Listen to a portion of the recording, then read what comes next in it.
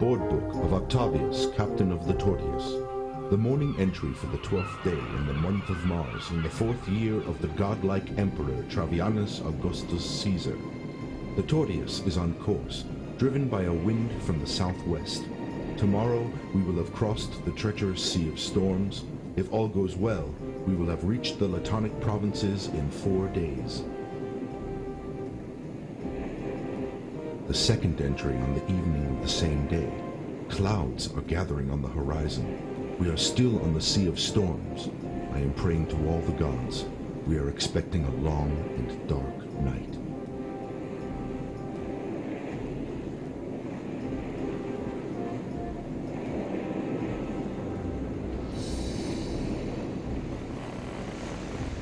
The morning entry for the 18th day of the month of Mars. The storm pounced upon us like a predator in the night, and I had to throw out the drag anchor. For four terrible nights, the wind drove us deep into the darkness. The lookout was the first to notice the danger when a lightning bolt illuminated the fatally close rocks.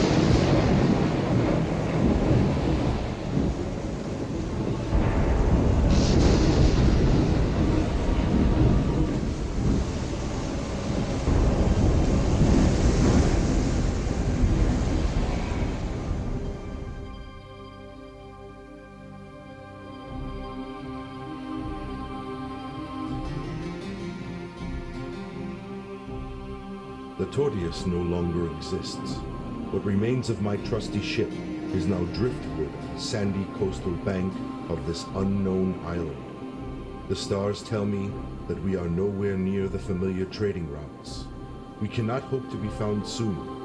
But let the gods be thanked, we are still alive, and the island appears to be fruitful. We still do not know if we are the only people here.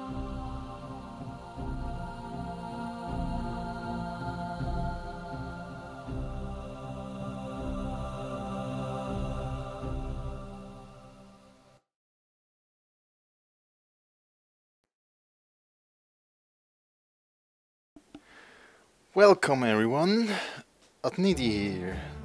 Today I want to start this new project of mine. Let's play the Settlers 2 the Gold Edition. Now, the Settlers 2 was released in 1996 by Blue Byte Software and it's a real-time strategy game that I used to play a lot when I was a child. Now the game a campaign, world campaign, uh, well, some things. And it has uh, split screen multiplayer actually, I think. That's rather uncommon for the RTS genre that this game resides in.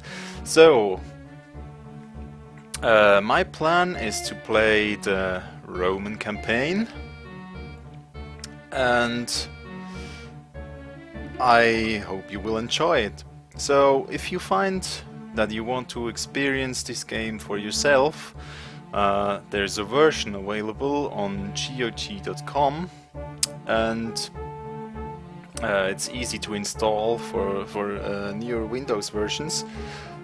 And yeah, I hope you will enjoy.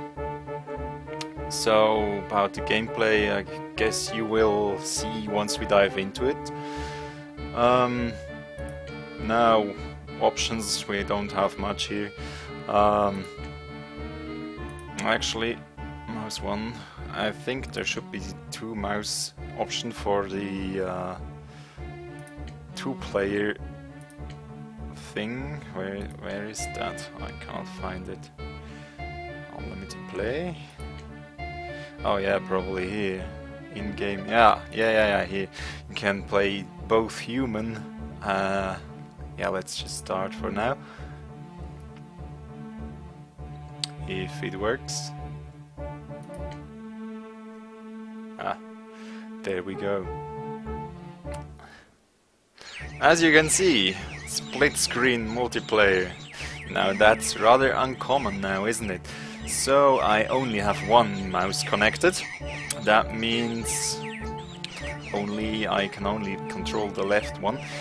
So um, I don't know if you is familiar with this game, but uh, the basics is, uh, well, we build buildings, we connect them up with roads, and uh, everything else kind of plays out. As you can see here, guys are coming. Yeah. So uh, here, as you can see, if I press the V button, I can speed up thing because the game would be rather annoying to, to, to play and watch if it wasn't sped up. So yeah, that's the basics. Here you can uh, see buildings, uh, small, medium, large buildings, right? Um, yeah, and then you play like this. So, I think this concludes this uh, introduction. Actually, uh, wait, how can I? Uh, can I not go back to the Q? P? Oh, I have no idea how I can uh, go back to ah here game menu. Yes, so uh, I think this oh god, this is annoying. Um, as I said, I will play uh, through this 10 scenarios, basically. We have seen in the intro that uh, we are kind of in a in a bind, right? Uh, our ship sunk, and well, we will see how this will turn out. Uh, thanks for watching, and I hope you will enjoy this uh, uh series with me. Um, this is the short intro. Uh, this was the short intro, and um, yeah, let's. I hope I see you again in the next, in the first episode of Let's Play Settlers 2 with me Adnidi.